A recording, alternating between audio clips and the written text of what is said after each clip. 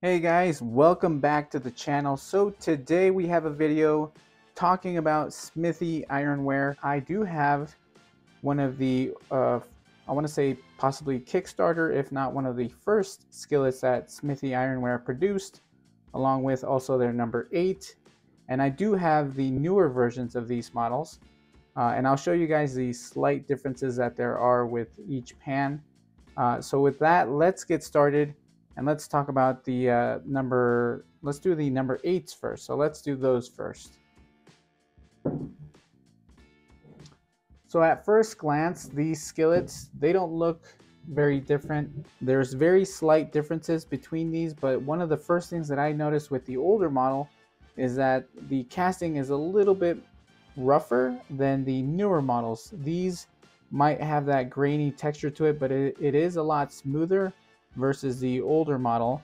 Um, also, the casting of the quail here is a little bit better on the newer models, but where you can see the biggest differences is on the underside. So this one here is the um, older version, and the lettering here is a little bit smaller than the newer.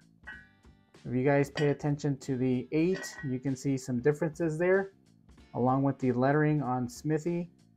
Um, and that's about it. You can't really see much of a difference uh, from anything else except for the fonts and the lettering on the underside. There isn't much difference on the size, nor do I believe that there is a difference on weight. Um, and as I said earlier, the casting on the older models is a bit rougher. Uh, I don't know if the camera picks it up, but the handle itself, not the smoothest the casting on the quail also not not the best. The other thing that I can tell is that there's a little bit of pitting, not necessarily pitting, but uh, some casting issues here, a little bit of sharpness here, but they will last you a long time. And this one here uh, has been actually maintained pretty decently. So those are the differences between the Smithey number 8. Now with that, let's move on to the number 10. This is my newer model. I've had this for about two years and as you can tell there is a big color difference here. This one has been seasoned many, many times. It's been used many, many times versus this one where I feel like wasn't used very often, perhaps maybe even a handful of times. It looks like the original seasoning is still intact.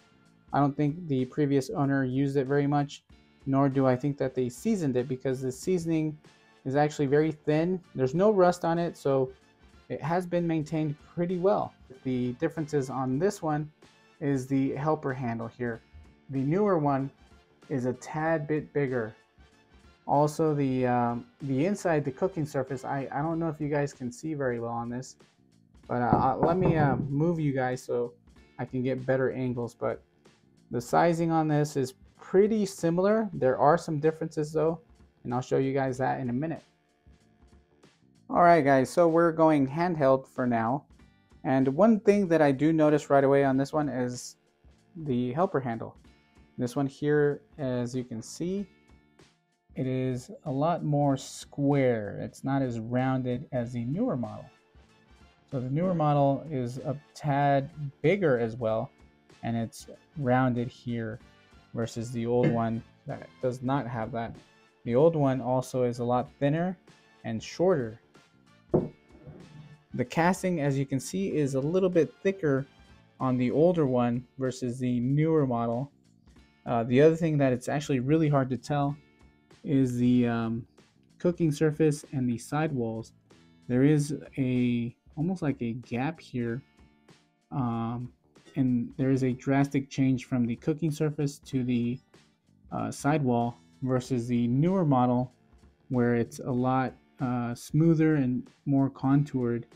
Uh, so I want to say that the CNC machining on this is a bit better than the older model. The older model is almost uh, like a 90 degree angle versus this one that has somewhat of a sloped sidewall here. So um, there is a better division between the cooking surface and the sidewall. The other thing that I did notice is here on the Smithey um, logo, the whole uh, rim here has been actually sanded down. And the newer model does not have that. As you can see, this is still uh, the textured um, from the sand mold. So not it hasn't been sanded and you can tell that there are some differences here. And this you can see it here on the pour spout. You can see that it has been sanded. Okay guys, so I have the older model on top of the newer model. And right away you can see some of the differences that I've been talking about. The helper handle is a bit longer on the newer model versus the older one. Also this one here is uh, curved versus the older that's um, a lot more angled and this is pretty much uh, lined up. So these lines line up pretty well overall. Um, here's the other difference that I noticed. The handle here. So this one seems to be a tad shorter.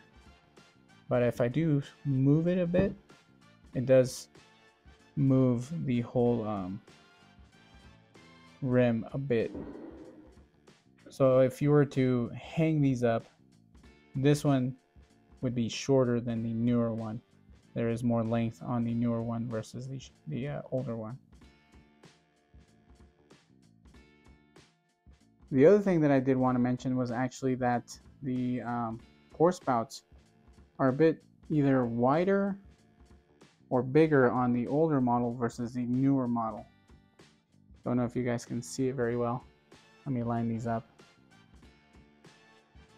These are a bit more flared than the newer ones.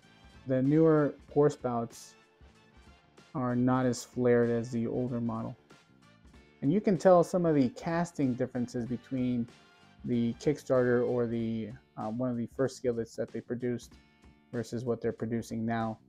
Uh, there is more refinement with the newer model versus the older one. Uh, you can see a little bit of pitting here and there. Um, the lines aren't perfect. They're, I want to say that the rim hasn't been necessarily um, given some work. Uh, on this one, it looks like they, they do hit it with a grinder and on this one it doesn't seem like it has been hit with a grinder um, but obviously this one has been rarely used the older one uh, because you can tell the, the differences here mine is a lot more glossy a lot darker versus the uh, older model uh, the other difference that you can tell is the um, shape design of the handle. And I'm talking about this here. I'll show you guys in a minute. One thing that you can see in the newer design is the design of the handle here but you can see the differences here versus this one. This one's flat and it has this um, support piece here. And the support piece on this one is a lot wider versus just a small thin strip of uh, iron so um, those are some of the differences that I've noticed and uh, honestly guys when I first saw Smithey Ironware this was the first skillet that I saw, and I fell in love with the design of the helper handle. And when I received mine, I went back and looked at the photos from the advertisement that I had seen on, on social media, and I noticed it wasn't the same. And I just figured, well, I'm sure they've updated the the uh, cookware, and uh, they would post photos of the older version, and they would be selling the newer one. And I got this one in 2020 I um, this one I want to say possibly came out in 2016. At least that's what I believe. They're um, I, am not sure if they did a Kickstarter or not, but I do want to say they started around 2016. I loved their design from the beginning, and uh, Smithey Ironware is one of my favorite pieces of cast iron cookware. The reason being is that I like how thick it is. I like how heavy it is. This weighs in at six pounds. I have weighed it six pounds even this one here is a tad bit lighter. I'm talking about four to six ounces lighter. Not that big difference uh, between these two, even though the sidewalls on this one and the pour spouts look to be thicker. Weight-wise, they remain to be the same. So those are just some differences that I wanted to talk about and showcase. And perhaps for those of you that were curious about Smithey Ironware, so I want to say there's a little bit of history here. As you can see, the older version and the newer. Um, great skillets, great company. Um, I do know that these retail now for 170. They used to retail for 160. Uh, the number eight chef skillet used to retail for 100. Now it retails for 110. Uh, so every single item now has been bumped up $10, but $10 isn't that much. And the inflation is causing some of those prices to go up. And for me, I like supporting USA made cast iron cookware. So I've always backed uh, Smithey. As I said, they have been one of my favorites from the beginning. And with that, I hope you guys enjoyed this quick little video of the older skillet and the uh, newer ones and the slight differences that they have. Let me know what you guys think and let me know if you guys enjoyed watching this. And as always, I appreciate your time. Thank you guys for watching.